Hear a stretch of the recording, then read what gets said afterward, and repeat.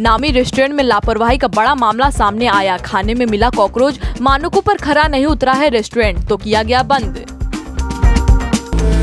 बाबा रामदेव की पतंजलि ने बनाए एक और रिकॉर्ड। हॉलिस को छोड़ा पीछे। कमाए 442 करोड़ रुपए। वंदे भारत मिशन के तहत हुई स्मगलिंग। दुबई से आए दंपति के पास पोस्ट के रूप में मिला एक दशमलव एक पाँच करोड़ का सोना। कोरोना के नाम पर प्राइवेट अस्पतालों की लूट जारी। एमपी में एप्पल अस्पताल ने कोरोना मरीज़ को थमाया लाखों का बिल, प्रशासन ने कसी नकेल। 600 विकेट लेने वाले एडरसन ने किया तिरंगे का अपमान, सोशल मीडिया पर जमकर हुआ बवाल, तुरंत माफ़ी मांगने की हो रही है मांग। विकेट लेने के बाद इंग्लैंड क्रिकेट बोर्ड की ओर से जारी किया गया था एक ग्राफिक्स। ग्राफिक्स में थे कई देशों के झंडे। ग्राफिक्स पर खड़े नज़र आए एडरसन जिसमें भारतीय ध्वज तिरंगा भी था शामिल। इंग्लैंड क्रिकेट बोर्ड की भी जमकर हो रही आलोचना। पिंक सिटी जयपुर को भिखारी मुक्त करने की दिशा में शुरू हुआ काम। एक हज़ार एक सौ छियानवे भिखारियों की प्रोफ़ाइल की गई तैयार। कईयों ने तो कर रखी एमए और एमकॉम तक की पढ़ाई। हुनर के मुताबिक काम के अवसर देने की है कोशिश। बच्चों की एजुकेशन पर भी रखा जाएगा ध्यान। रेलवे में सरकारी नौकरी के नाम पर ठगे एक करोड़ तीन लोग गिरफ़्तार। हर एक अभ्यर्थी से लेते थे चार से पाँच लाख रुपए।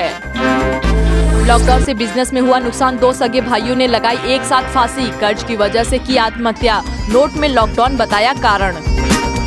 नीट जेई के समर्थन में 100 से अधिक शिक्षाविदों ने सरकार को लिखा पत्र। लिखा, हम जेई और नीट परीक्षाओं के आयोजित करने की सरकार के फैसले का समर्थन करते हैं। महिलाओं को नाइट शिफ्ट में काम करने की अनुमति देने के प्रावधान वाला अध्यादेश हुआ खारिज। राष्ट्रपति ने लौटाया प्रस्ताव। मध्य प्रदेश सरकार ने कारखाना अधिनियम 1948 में किया था अहम बदलाव। केंद्र ने भी जताई थी आपत्ति। आइसक्रीम के पैक पर दस रूपए एक्स्ट्रा चार्ज करना पड़ा महँगा। जिला फोरम ने लगाया दो लाख रुपए जुर्माना। फैमिली पैक पर एक रुपए की जगह एक रुपए किया था चार्ज। ऑनलाइन क्लास में दिक्कत होने पर पहाड़ी पर बनाई झोपड़ी। पीएमओ की मदद के बाद गाँव में ही मिला इंटरनेट कनेक्शन। अपनी सरकार से ज़्यादा भारत सरकार से खुश है चीन के लोग। ग्लोबल टाइम्स के सर्वेक्षण में खुलासा, इक्यावन फ़ीसदी ऐसी ज़्यादा चीनी नागरिकों ने की सराहना की। दुनिया के सबसे तेज हाइब्रिड क्वांटम कंप्यूटर बनाने की तैयारी शुरू। रूस करेगा भारत की मदद। सुपर कंप्यूटर के मुकाबले लाखों गुड़ा पावरफुल है क्वांटम कंप्यूटर। दो पहिया वाहनों पर कम हो सकती है जीएसटी की दर, निर्मला सीतारमण ने दिए संकेत 28 फ़ीसदी लगता है जीएसटी। टनों में नहीं, सिर्फ़ 800 किलो सोना है यूपी के सोनभद्र में। जीएसआई ने किया बड़ा खुलासा 22 लाख टन गोल्ड ओर में से निकला 800 किलो सोना।